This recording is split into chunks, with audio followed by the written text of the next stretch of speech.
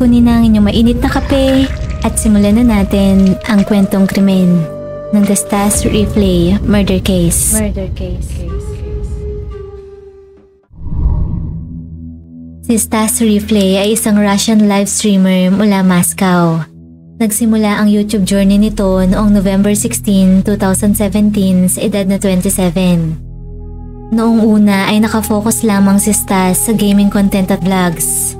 Subalit napagtanto nito na maliit lamang ang kinikita sa gaming dahil sa sobrang dami ng players at streamers sa market. Kaya naman naghanap ito ng ibang opportunity hanggang sa mapadpad ito sa controversial na trash streaming o basura content. Sa ganitong uri ng niche, binabayaran ng streamer ng viewer upang gumawa ng iba't ibang mapanganib na stand sa harap ng kamera. Kadalasang nag invite ang vlogger ng participants upang mag-inuman o gumamit ng droga habang nagla-live at sundin ang anumang request basta't may kapalit na donations. Sa pagdami ng request, paglaki ng kita. Subalit habang tumatagal, unti-unti ring nagiging marahas ang mga request ng fans. Mas na-enjoy ng mga ito ang palabas sa tuwing may mapapahiya o masasaktan. At isa sa mga paboritong panoorin ng mga ito ay ang kaibigan ni Stas na si Valentin Anishev. Si Valentin ay isang 32-year-old homeless man, lasinggero at may sakit sa pag-iisip. Nang alokin nito ni Stas na tumira sa kanyang bahay, malugod itong tinanggap ni Valentin. Ang hindi nito alam, doon na magsisimula ang kalbaryo ng kanyang buhay. Noong una ay minor prank lamang ang ginagawa ni Stas kay Valentin. Binubuhusan ng tubig sa mukha at hinahampas ng mahina hanggang sa mauwi na ito sa matinding pang-aabuso. Kapalit ng maliit na halaga, dinanas ni Valentin ang paulit-ulit na pamamahiya at pananakit ni Stas sa harap ng kanyang audience. Naging star ito ng kanyang palabas. Bilang parte ng challenge, pinapainom ni Stas si Valentin ang kanya ihi. Nagpe-perform rin ito ng tinatawag na baptism kung saan bubuhusan nito na nagyayelong tubig si Valentin habang natutulog o kaya ay natutulala. Minsan rin ay nagbubukas ito ng itlog gamit ang ulo ni Valentin o kaya ay lalagyan ng bituka ng isda ang kanyang pagkain. Sa isang pagkakataon, ibinaon na rin ito sa hukay habang nakalabas ang ulo. Kadalasang nilalasing ni Stas si Valentin para mas malaya nitong magawa ang kahit anong gustuhin ng manonood. Sa kabila ng pang-aabuso, walang magawa si Valentin dahil may nakukuha itong bahagi ng kita. Minsan rin ay sinasabi nito sa mga concerned viewers na okay lamang ito at voluntaryo naman ang kanyang partisipasyon. Gayunpaman, sa tulong ng public organization laban sa modernong pang-aalipin, nasagip ng mga ito si Valentin sa kanyang bangungot. Kinalaunan ay nagawa nitong makaalis sa bahay ni Stas. Subalit hindi nagtagal, muli na naman itong nagbalik kay Stas at sinabing hindi ito biktima. Malinaw na hindi pa nito napapagtanto noon ng abuse dahil siya shock o trauma hanggang sa magdesisyon itong kumuha ng abogado at pumunta sa pulisya at ipinilit na wala itong anumang reklamo sa mga kasamahang streamers at voluntary ang kanyang mga ginagawa. Kaya naman walang choice ang mga pulis kundi tanggapin ang pahayag ni Valentin. Makalipas ang tatlong taon, kusa nang umalis si Valentin sa bahay ni Stas. Bagamat hindi malinaw ang rason nito kung hindi na kinaya ang hirap o kung may iba pang factors. Ang mahalaga para kay Stas ay makahanap ulit ng bagong pagkakakitaan sa kanyang streams. Muli nitong tinarget ang mga mahihinang tao at walang kakayan ng ipaglaban ng sarili gaya ng matatanda at may kapansanan. Hanggang sa napokus ang atensyon nito sa kanyang 28 years old na girlfriend na si Valentina Grigorieva o Valia. Nagsimula ang lahat sa panunukso at pagsasalita ng masasakit ni Stas sa nobya. Subalit unti-unting bumuhos ang donasyon kaya naman nagpakitang gilas ito sa mga sumunod na stunts.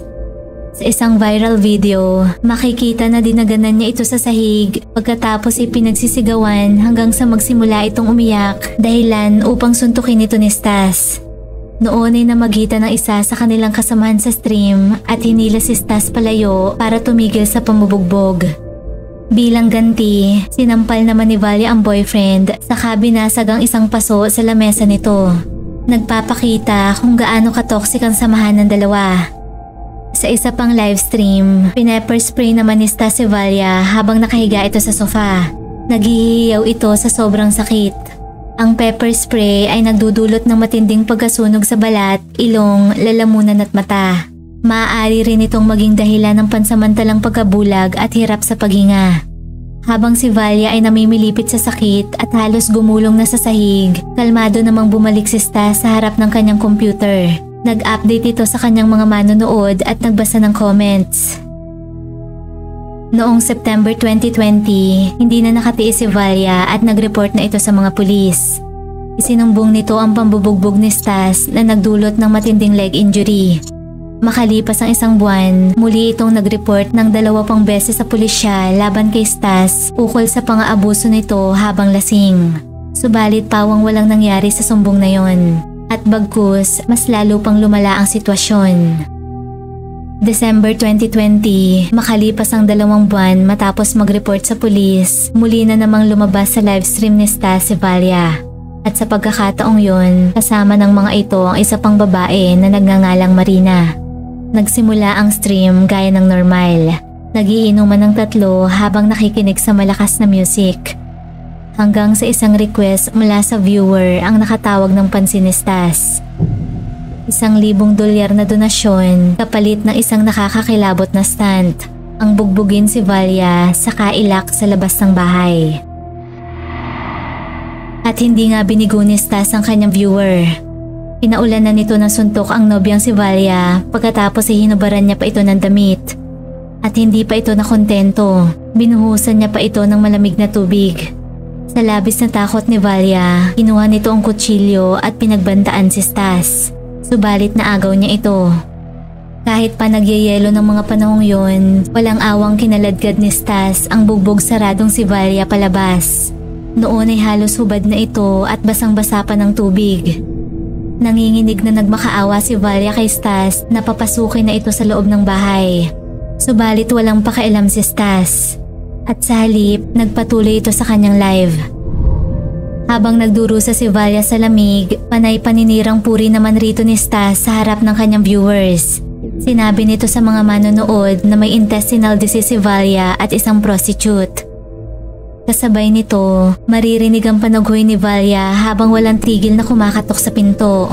Hanggang sa maya-maya pa, bigla na lamang nanahimik si Valia. Gayon pa man, patuloy na nag-stream si Stas sa sumunod pang dalawang oras. Kinalaunan, nagdesisyon si Stas na silipin ang nobya sa labas. Subalit maputla na ito at hindi na gumagalaw. Nakabulagta na lamang ito at hindi na nagre-respond kay Stas. Sa panik, pinagsasampal ito ni Stas upang gisingin. Noon ay nagsimula na itong makaramdam ng pangamba. Umiiyak ito habang kinakausap ang wala ng malay na si Valia. Nang i-CPR niya ito, doon na nito napagtanto na patay na si Valia. Wala na itong pulso at hindi na humihinga. Dinala ni Stas si Valia sa sofa at tinakluban ng kumot. Sa kabila ng nangyayari, tuloy pa rin sa pag-inom ng alak at paglalive si Stas. Ilang minuto pa bago nito naisipang tumawag ng ambulansya. Habang naghihintay ng tulong, kausap nito ang audience at sinabihan ng mga ito na kontakin ang nanay ni Valia at ipaalam ang nangyayari. Samantala, nang dumating ang paramedics, kinumpirma ng mga ito na patay na si Valia. Maya-maya pa, dumating na rin ang mga pulis sa bahay. Nang simulan ng mga itong questionin si Stas, doon lamang nito tinapos ang kanyang livestream. Noong una, ipinagpapalagay na namatay si Valia dahil sa hypothermia o matinding lamig. Subalit ayon sa autopsy, dumanas ito ng cerebral trauma. Puno ng pasa ang mukha nito at nagkaroon ng hemorrhage o pagdurugo sa soft tissue. Nadiskubre ng doktor na ng araw na yon, tatlong malalakas na suntok ang tinamo nito na sanhi ng kanyang kamatayan. Sa police interview, inamin ni Stas ang mga pananakit kay Valia. Ngunit sa kabila ng confession nito, hinayaan itong makalaya ng mga pulis ng araw na yon. Kinabukasan, muli itong ipinatawag sa pagkakataong yun, hugas kamay na ito sa kanyang ginawang krimen. Iginiit ni Stas na best friend niya si Valia. Acting lamang umano ang kanilang mga stunt. Dagdag pa nito, kusang loob na lumabas si Valia sa kanilang balcony. Sinabi rin ni Stas na posibleng drug overdose ang ikinamatay ni Valia. Isiniwalat nito na gumagamit si Valia ng bawal na gamot at isa ring prostitute kaya naman nag-aalangan umano itong makipagrelasyon rito. Sa buong interview, pawang paninira kay Valia ang ginawa ni Stas. Pilit nitong kinukumbinsi ang mga pulis na inosente ito sa pagkamatay ng girlfriend. Gayunpaman, kumpiyansa ang otoridad na kasalanan ni Stas ang lahat. Noong 2021, nahatulan si Stas ng guilty sa pagkamatay ni Valia dahil sa kapabayaan. Nasintensyahan lamang ito ng anim na taong pagkakakulong. Sa kasalukuyan ay malaya ng muli si Stas ng pababain ng original sentence nito ng kalahati. Ngayon ay isa na itong fitness vlogger.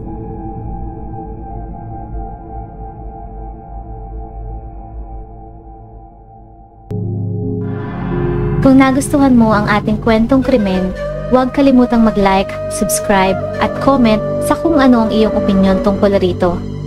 At laging tatandaan, mahalaga ang buhay, huwag kang papatay. Maraming maraming salamat po sa panonood at hanggang sa muli.